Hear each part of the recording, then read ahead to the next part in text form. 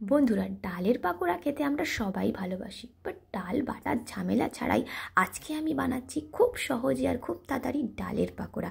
তো বন্ধুরা জাস্ট একদম রমজান মাসের শেষ সময়। আর এই সময় তোমরা ঝটপট বানিয়ে নিতে পারো এই পাকোড়ার রেসিপিটা তো বন্ধুরা দেখো, ডালের পাকোড়া বানাবার জন্য নিয়ে নিয়েছি মুগের ডাল। নিয়ে নিয়েছি বেশ কিছুটা পেঁয়াজ, কাঁচা লঙ্কা আর দেখো বিলেতি ধনে পাতা কিছু তুলে কুচি কুচি করে কেটে নিয়েছি। আর দেখো এই ডালের পাকোড়া বানাবার জন্য বেসনের প্রয়োজন হবে। তো বন্ধুরা দেখো এখানে সামান্য কিছু, অল্প পরিমাণে দু তিন চামচ মতো বেসনটা আমি দিচ্ছি। আর এখানে দেখো মশলার মধ্যে নুন, হলুদ গুঁড়ো, লঙ্কার গুঁড়ো আর সামান্য জিরে গুঁড়ো আর ধনে গুঁড়ো। তো বন্ধুরা, এই সমস্ত মশলা দিয়ে আমি কিন্তু এই ডালের পাকোড়াটা বানাবো আজকে। আর এই ডালের পাকোড়াটা কিন্তু খেতে বেশ মজার লাগে। তো বন্ধুরা, ডাল বাটা ঝামেলা অনেকেই মনে করে যে ডাল বাট ডালের পাকোড়া অনেকেরই খেতে ভালো লাগে বাট ডাল বাটার একটা ঝামেলা থাকে। তো বন্ধুরা, তোমরা কিন্তু এই বিনা ডাল বেটে এই পাকোড়াটা একবার ট্রাই করে দেখতে পারো, কিন্তু ভীষণ ভালো লাগে।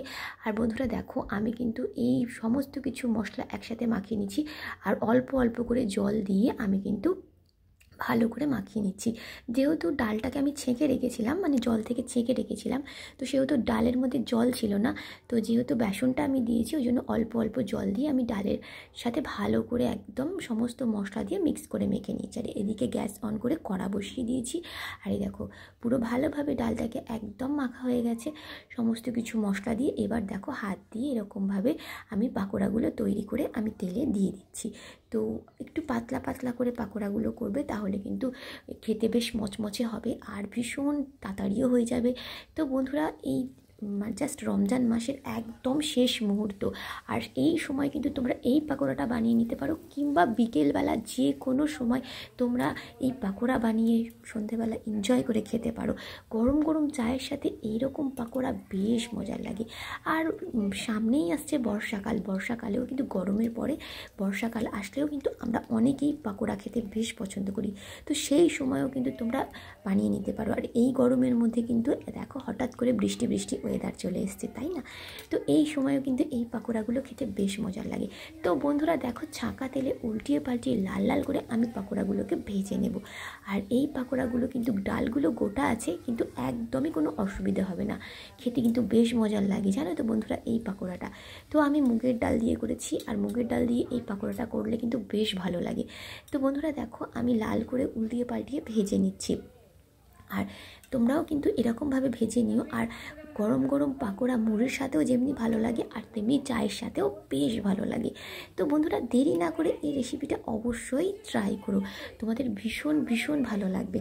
আর দেখো এইভাবে ভালো করে, লাল করে আমি ভেজে নিয়ে, আর কন্টিনিউ গ্যাসের ফ্লেম মানে মিডিয়াম টু হাই ফ্লেমে আমি ভেজে নিয়েছি। একদম লো ফ্লেম করবে না, তাহলে কিন্তু পাকোড়াগুলো একদমই তেল টেনে নেবে।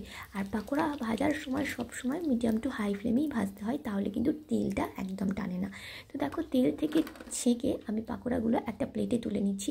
আর একে একে দেখো, আবারও বেশ মানে প্রথমবার ভাজা হয়ে গেছে বেশ কিছু পাকোড়া, আবারও সেকেন্ড টাইম আমি ভেজে নিচ্ছি।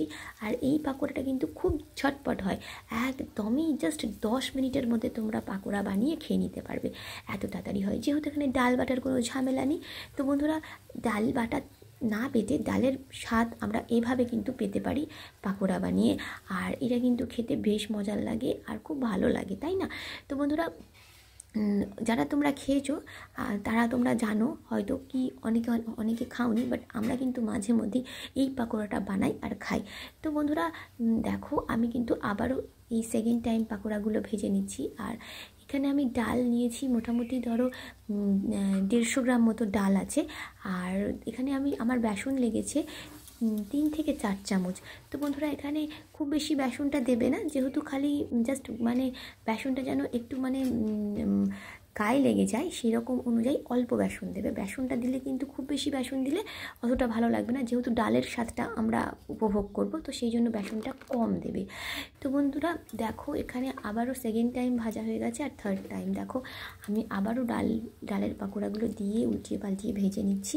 আর এই পাকোড়াটা তোমরা শুধু খেতে পারো কিংবা মুড়ির সাথে খেতে পারো কিংবা চায়ের সাথে খেতে পারো যে কোনো সময় কিংবা ইফতারিতে খেতে পারো যে কোনো সময় তোমরা খেতে পারো, এই পাকোড়াটা সব সময়ের জন্য বেস্ট খুব ঝটপট হয়ে যায় বলে বেস্ট না, তো ইনস্ট্যান্ট একদম ঝটপট হয়ে যায়। তো মানুষ তো এখন খুবই বিজি তো ঝটপট যে জিনিসটা হয় মানুষ সেটাই পছন্দ করে, তাই না বন্ধুরা? তো দেখো আমি কিন্তু সব পাকোড়াগুলো ভেজে নিয়েছি আর সব পাকোড়াগুলোই তেল ঝরিয়ে আমি দেখো প্লেটে সুন্দর করে তুলে নিচ্ছি। আর একদম মুচমুচে হয়েছে, ভীষণ টেস্টি তো দেখো কত সুন্দর দেখতে হয়েছে, দেখতেই পাচ্ছ। মুগের ডালের পাকোড়া অপূর্ব স্বাদের। আর তোমরা বলতে পারো, এটা একদম ভেজ এখানে কোনো রকম মানে পেঁয়াজটা দিয়েছি জাস্ট রসুন আর আদা রসুনটা ব্যবহার করিনি। বাট তোমরা যদি মনে করো একদম ভেজ বানাবো, তাহলে পেঁয়াজটা স্কিপ করতে পারো। তাতেও কিন্তু পাকোড়াটা বেশ ভালো লাগে। তো বন্ধুরা, তোমরা অবশ্যই ট্রাই করো। তোমাদের ভীষণ ভীষণ ভালো লাগবে এই পাকোড়াটা। আজকের ভিডিওটা বন্ধুরা এখানেই শেষ করছি। দেখা হচ্ছে আবার পরের দিন নতুন একটা ভিডিও নিয়ে। Bye bye bye